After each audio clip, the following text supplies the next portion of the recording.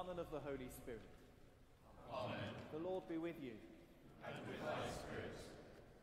Today we are hearing the proclamation, the cry of John the Baptist, who himself was not the light, but is the prophet closest, who reflects the wonderful light of Christ coming into the world, that light which we too are called to reflect, the light which we receive in this holy sacrament. So let us prepare ourselves for worship by praying together. Almighty God, unto whom all hearts be open, all desires known, and from whom no secrets are hid, cleanse the thoughts of our hearts by the inspiration of thy Holy Spirit, that we may perfectly love thee and worthily magnify thy holy name, through Christ our Lord. Amen.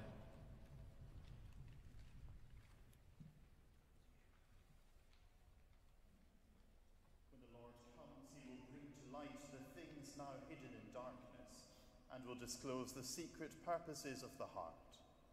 Therefore, in the light of Christ, let us confess our sins.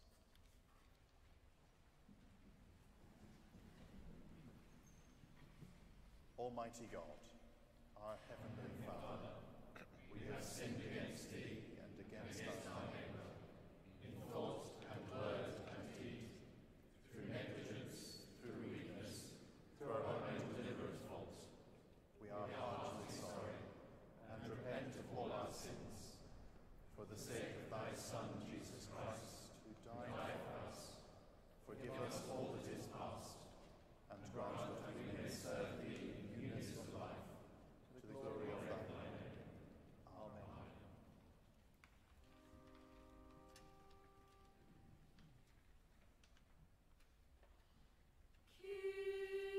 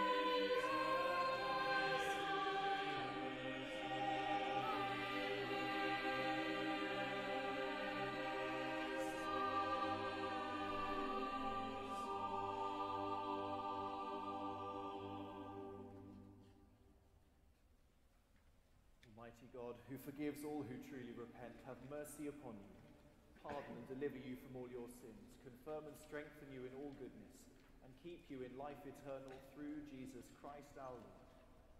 Amen. Amen.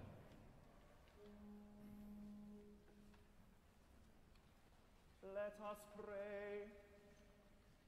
O Lord, raise up, we pray thee, thy power, and come among us, and with great might succor us, that whereas through our sins and wickedness we are sore let and hindered in running the race that is set before us, thy bountiful grace and mercy may speedily help and deliver us. Through the satisfaction of thy Son, our Lord, to whom with thee and the Holy Spirit be honor and glory, now and forever. A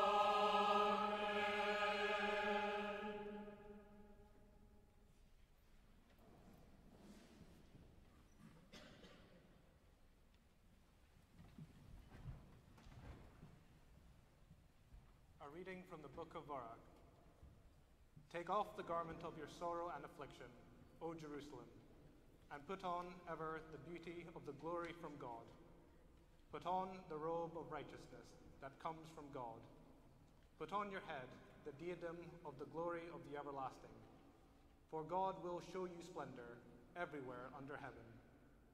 For God will give you evermore the name righteous peace, godly glory. Arise, O Jerusalem, stand upon the height, look towards the east, and see your children gathered from west and east at the world of the Holy One, rejoicing that God has remembered them. For they went out from you on foot, led away by their enemies, but God will bring them back to you, carrying in glory as on a royal throne. For God has ordered that every mountain and the everlasting hills be made low and the valleys filled up to make level ground, so that Israel may walk safely in the glory of God. The woods and every fragrant tree have shaded Israel at God's command. For God will lead Israel with joy in the light of his glory, with the mercy and righteousness that comes from him. This is the word of the Lord.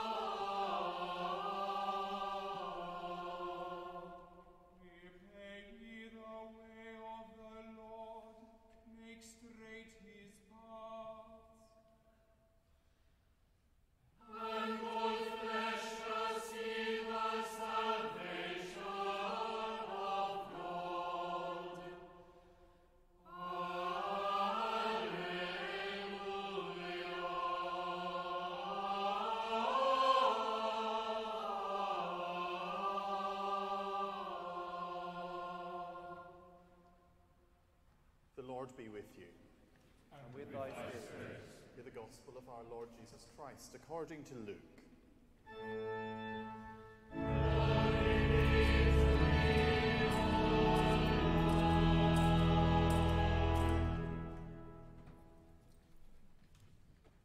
In the fifteenth year of the reign of the Emperor Tiberius, when Pontius Pilate was governor of Judea and Herod was ruler of Galilee, and his brother Philip, ruler of the region of Iturea and Trachonitis, and, Lysa- and Lysantius, ruler of Abilene, during the high priesthood of Annas and Caiaphas, the word of God came to John, son of Zechariah, in the wilderness. He went into all the region around the Jordan, proclaiming a baptism of repentance for the forgiveness of sins, as it is written in the book of the words of the prophet Isaiah. The voice of one crying out in the wilderness, Prepare the way of the Lord, make his path straight. Every valley shall be filled, and every mountain and hill shall be made low, and the crooked shall be made straight, and the rough ways made smooth, and all flesh shall see the salvation of God. This is the gospel of the Lord. Thank you.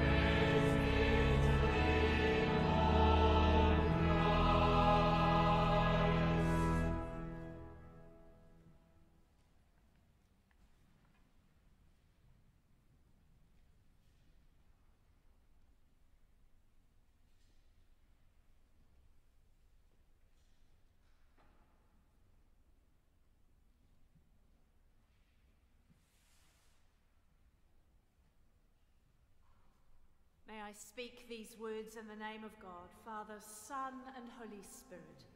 Amen.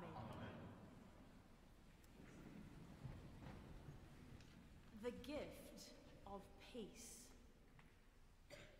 In our world today, political voices wonder and wrangle over how, as a global community, we will continue with the Omicron variant in our midst nation and nation, community and streets and families and organisations. Political voices seem very loud in the midst of that. The impact of decisions made or not made at COP26 also continue in discussion, sadly feeling a little bit risk of getting lost in translation.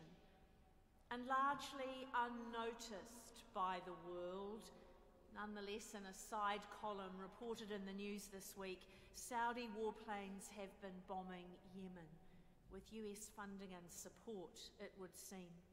The human suffering in that nation is beyond our comprehension.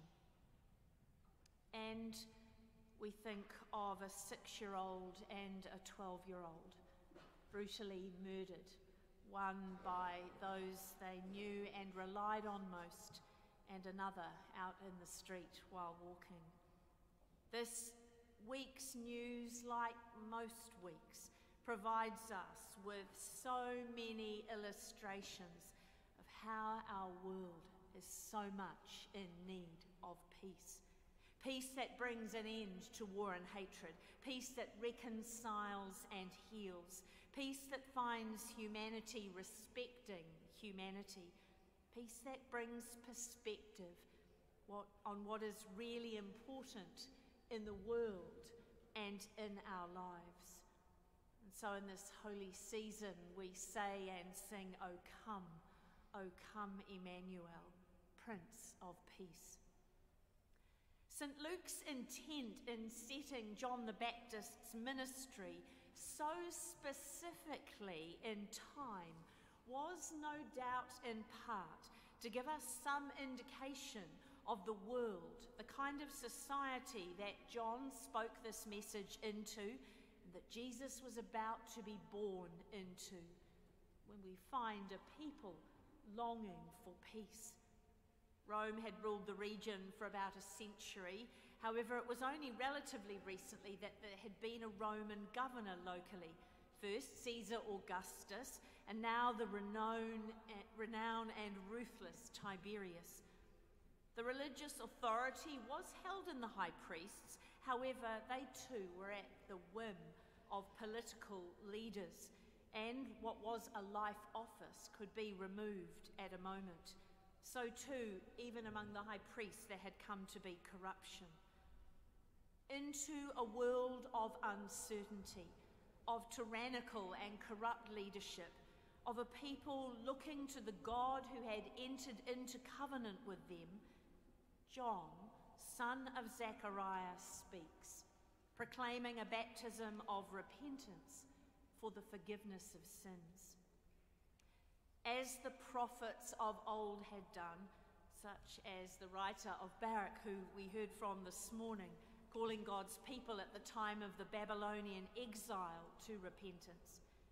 John once again calls the people to God, to return to God, and the echoes of what had gone before alongside the surprising, if not shocking, nature of the call that John puts forth to anyone who would listen.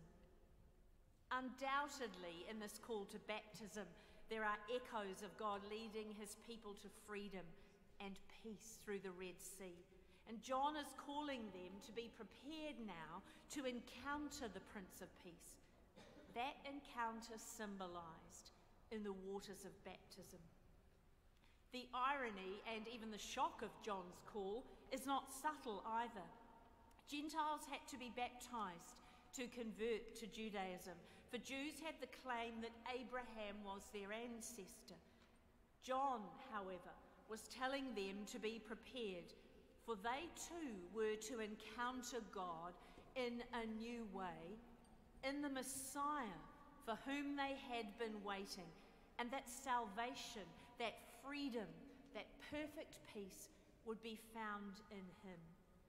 Not in making the claim we have Abraham as our ancestor, but rather in knowing the Christ.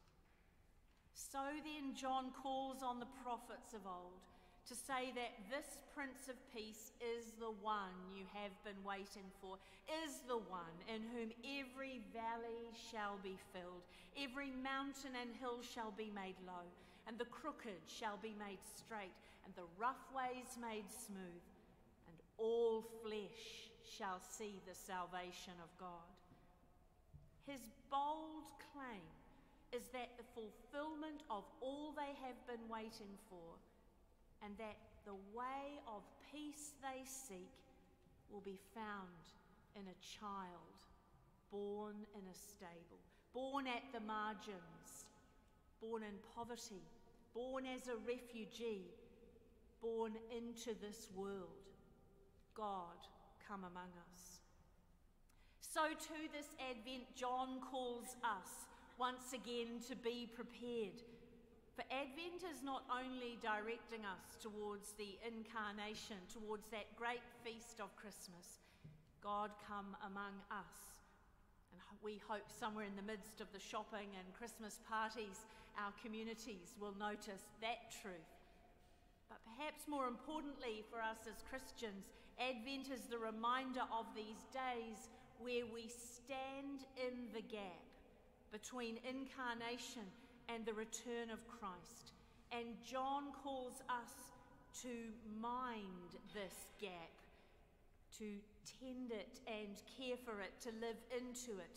When the prophet's vision will be the Prince of Peace coming among us, and where we are called to follow.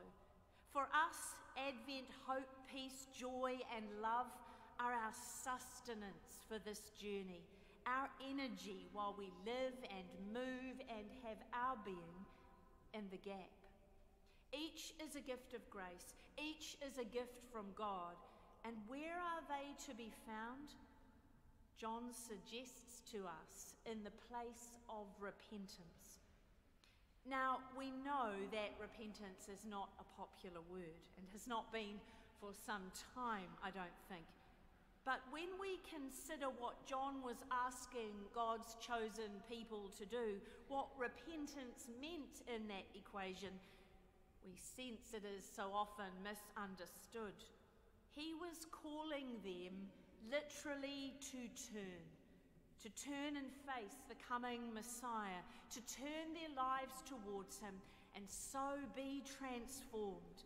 At which point, in that act of repentance, in that act of turning, they would know that God's promise was fulfilled in the Christ and they would go out. They would be equipped. They would know that sense of call to be peacemakers in the world. The peace they would know would be made known through them. That is the place of repentance, I believe, to turn ourselves to face Christ, to choose to know Him as we are fully known, and so to see our lives and our world through the perspective of the Prince of Peace.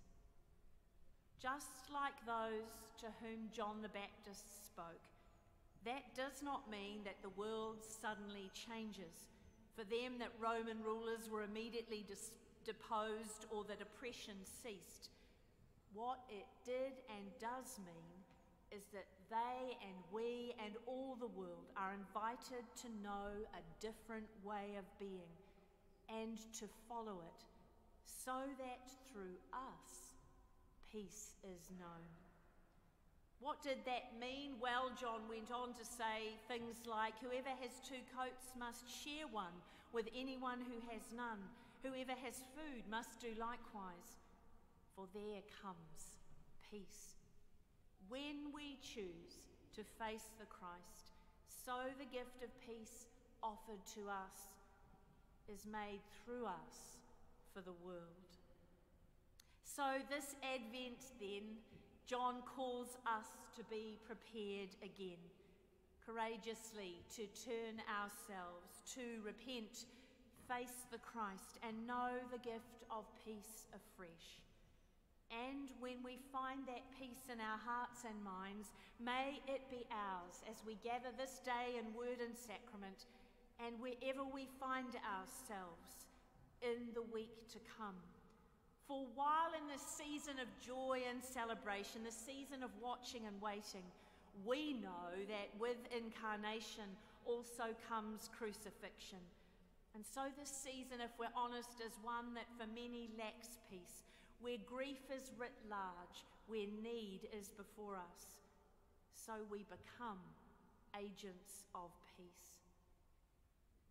I pray that as we continue this journey of Advent, then, we hear John's call ourselves. And in the rushing, in the busyness, in the gladness and joy of being able to be together again, we hear the call to face the Christ and to find the gift of peace for us, and so to open our lives to being peacemakers in the world.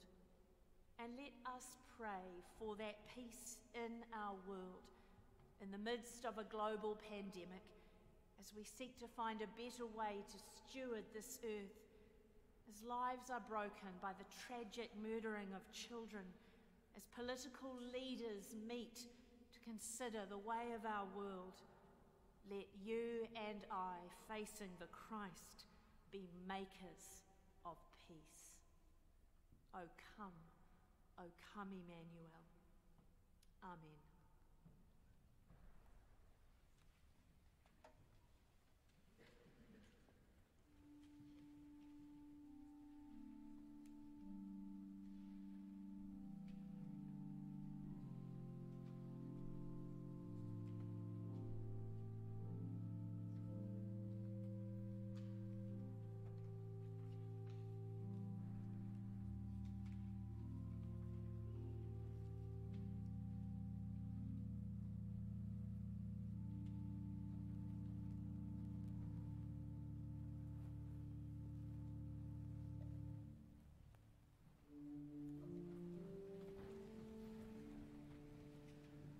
Believe in one God.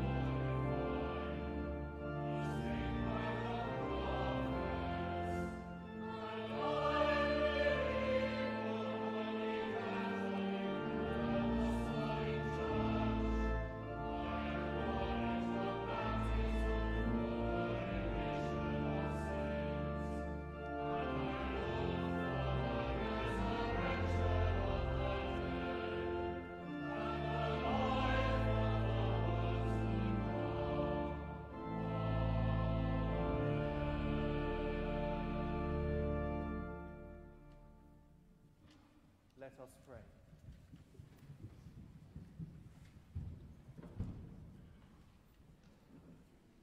This season of Advent, as we call to mind the gap between the world as it is, the gap between the world as our Lord would have it, so we pray that we may be made the peace of Christ in the world, that we and the whole world be made ready for his coming.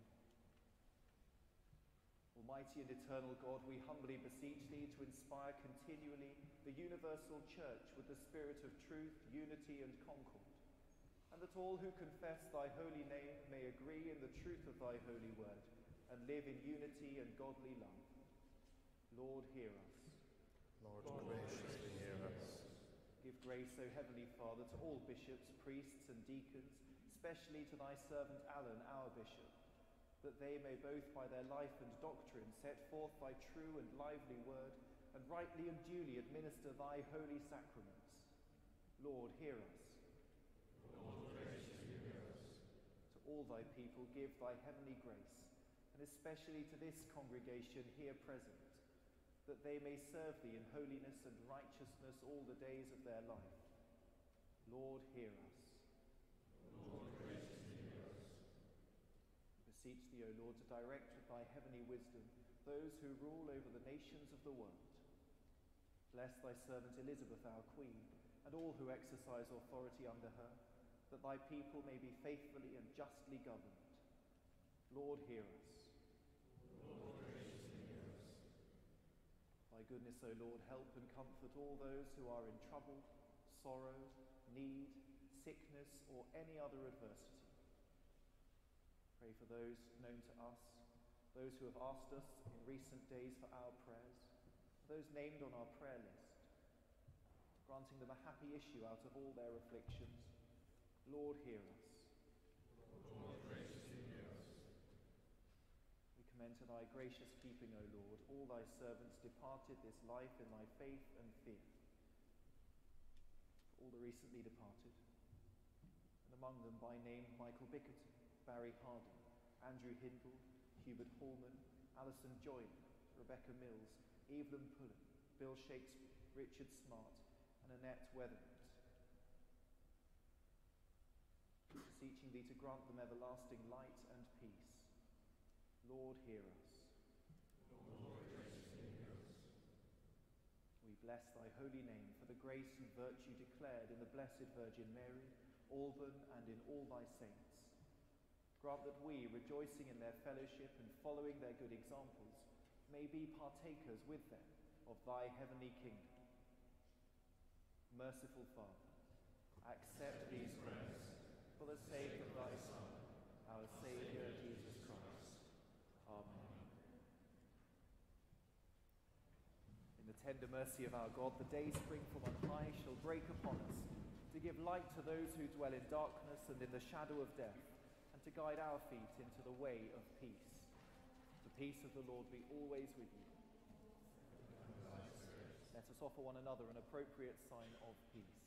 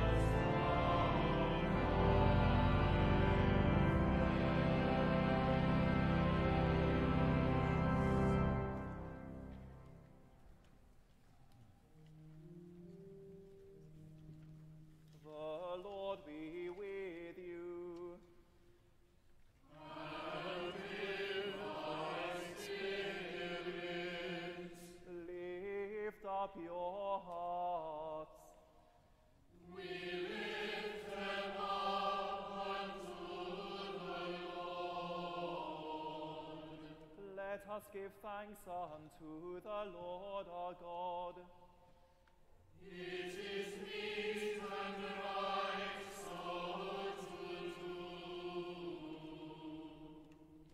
It is very meet, right, and our bounden duty that we should at all times and in all places give thanks unto thee, O Lord, Holy Father, Almighty, everlasting God, through Jesus Christ, thine only Son, our Lord. And now we give thee thanks, because thou didst send him to redeem us from sin and death, and to make us inheritors of everlasting life, that when he shall come again in power and great triumph to judge the world, we may with joy behold his appearing, and in confidence may stand before him. Therefore, with angels and archangels, and with all the company of heaven, we laud and magnify thy glorious name, evermore praising thee and singing. So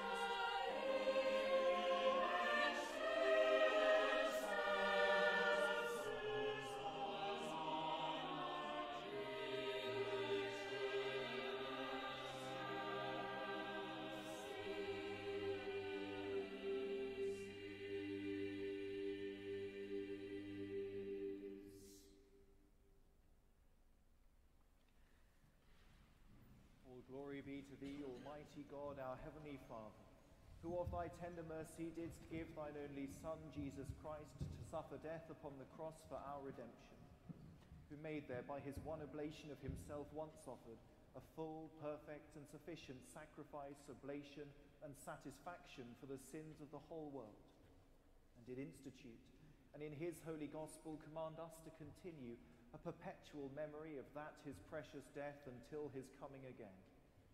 Hear us, O merciful Father, we most humbly beseech thee, and grant that by the power of thy Holy Spirit, we receiving these thy creatures of bread and wine, according to thy Son, our Saviour Jesus Christ's holy institution, in remembrance of his death and passion, may be partakers of his most blessed body and blood.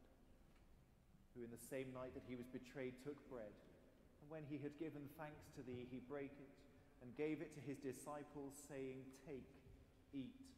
This is my body, which is given for you. Do this in remembrance of me.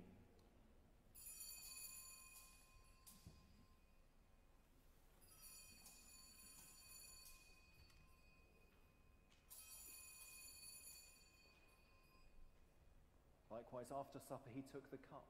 And when he had given thanks to thee, he gave it to them, saying, Drink ye all of this. For this is my blood of the new covenant, which is shed for you and for many for the forgiveness of sins. Do this as oft as ye shall drink it in remembrance of me.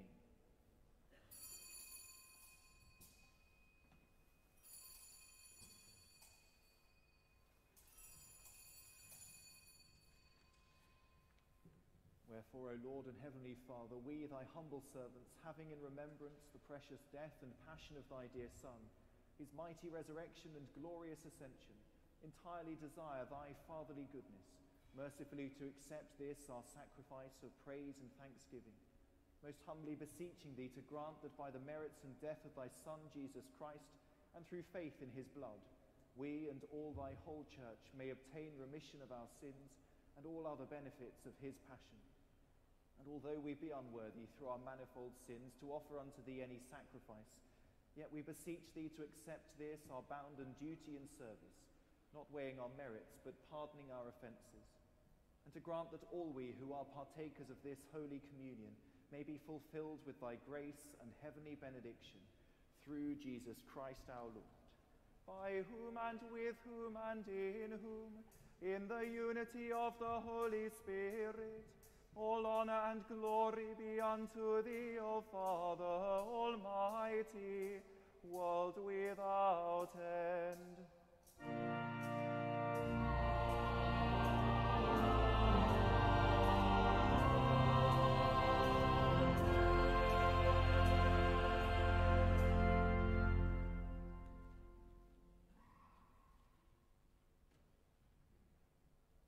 Let us pray with confidence as our Saviour has taught us.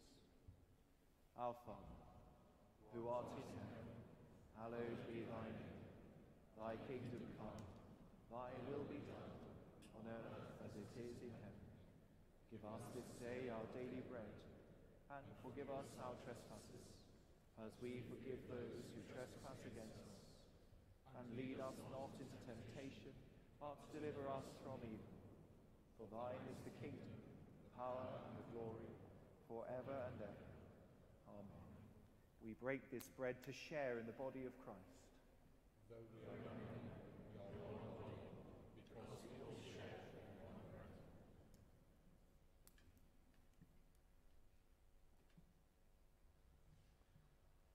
Draw near with faith, receive the body of our Lord Jesus Christ, which he gave for you, and his blood, which he shed for you. Eat and drink in remembrance that Christ died for you, feed on him in your hearts by faith with thanksgiving. We do not presume to come to this thy table, O merciful Lord, trusting in our own righteousness, but in thy manifold and great mercies. We are not worthy so much as to gather up the crumbs under thy table. But thou art the same Lord, whose property is always to have mercy.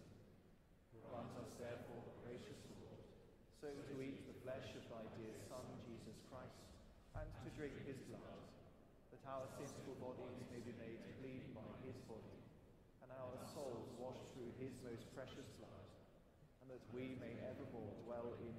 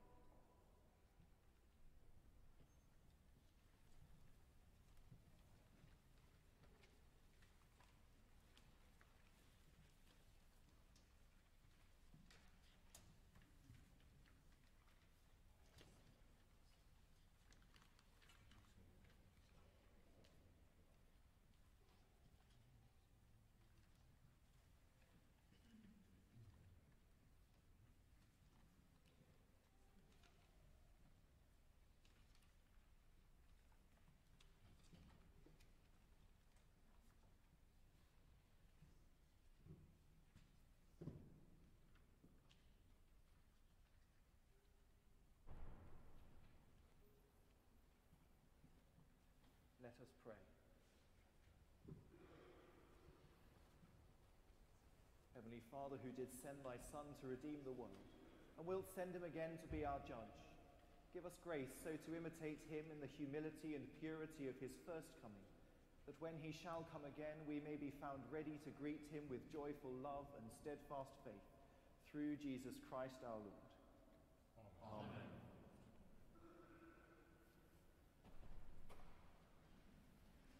The Lord be with you. And with thy spirit. Christ, the Sun of righteousness, shine upon you, scatter the darkness from before your path, and make you ready to meet him when he comes in glory. And the blessing of God Almighty, the Father, the Son, and the Holy Spirit be upon you and remain with you always. Amen. Go in the peace of Christ.